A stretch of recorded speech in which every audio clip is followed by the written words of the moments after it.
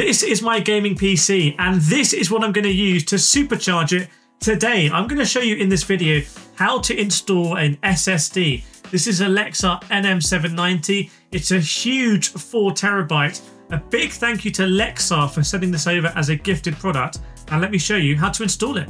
So first of all, we need to turn the computer off, like properly off. So first thing you should see all of your colors RGB go off. And then I'm actually going to go around the back and I'm going to make sure that it's properly off off. Now on this PC, I'm going to remove this front screen here. And what I'm going to do is I'm going to remove one of these SSD covers at the bottom.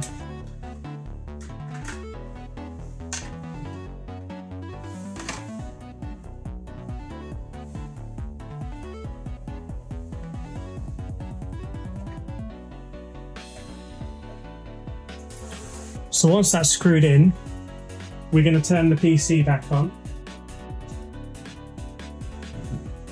We can see the motherboard lights on. And if everything's working, hopefully it's going to boot up. We shouldn't get any error messages.